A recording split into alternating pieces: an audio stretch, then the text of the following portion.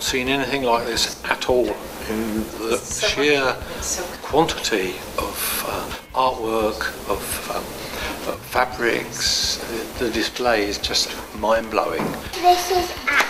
This is our acting. That's when we did the pigeon one, and and this is the caterpillar one. And we did some butterfly life cycles. Yeah. When we um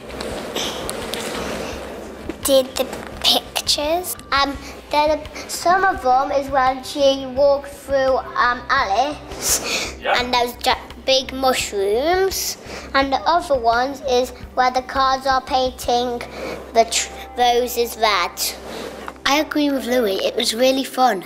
We've never had like that much time to do as much art as we can, and the best thing that I probably did was them, the um, theme things. Well, I created one of them buntings up there, um, and I really like. I really thought I was proud of that. Jada and I actually worked on the thrones that the king and queen are now sitting on.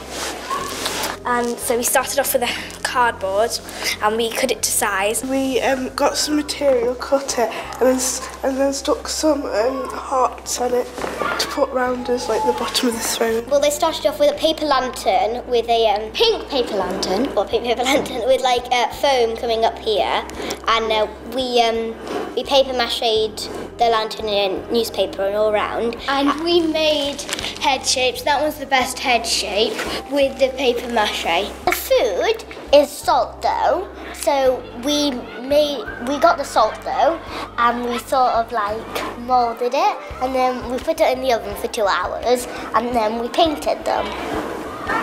And the Mott's Hare and the Mad Hatter, their heads are paper mache. Yeah, and to make their necks, we've put um, toilet roll thing. Yeah, um, down it to, and placed the head on it. Oh yeah, I thought it was fantastic. I think it's clear to see the amount of work that the kids have put in and the teachers and really took me by surprise actually.